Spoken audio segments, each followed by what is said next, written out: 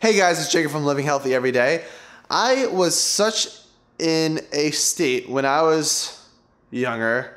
I was in this unconscious state of just doing things, just doing things and not even thinking about how it impacted my body, how my body felt. I would drink milkshakes and and stay up all night and drink Mountain Dew and do all these horrible things to my body and spike my blood sugar and mess up my glucose and do all these different things that were detrimental to my health. And I would never listen to my brain until it was too late.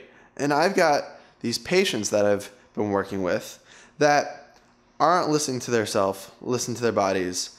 And I've become so accustomed now to listen to myself that I've been able to diagnose things before doctors have been able to diagnose it such as having biliary dyskinesia with my gallbladder. I was able to figure out through my body and reading labs I've had that I had a problem with my gallbladder. And it took months to convince doctors that there was something wrong with my gallbladder.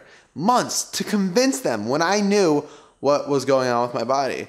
And doctors get all these patients that read things online, are, are, are internetology uh, degrees um, and I, I understand doctors get enough of that and they're lazy and they don't want to have to deal with insurance and things like that. But when you really listen to your body and know what's up, like me, you can diagnose yourself. You just have to listen to your body. So I'm going to show you, share with you a way that I use to listen to my body.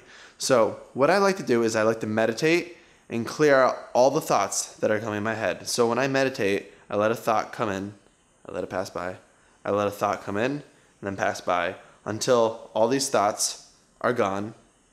Once all the thoughts are gone, then I can focus on my breathing and focus on what in my body is aching, where I'm feeling it.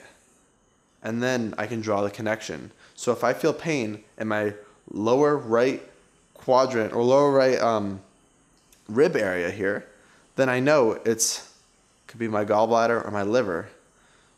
And if I feel pain in my stomach, I can really pinpoint oh, is that my stomach or is that my spleen? What is going on? It does help knowing the anatomy of the body too. But really knowing, like, is my heart broken or is this an emotional state? Just getting past a relationship?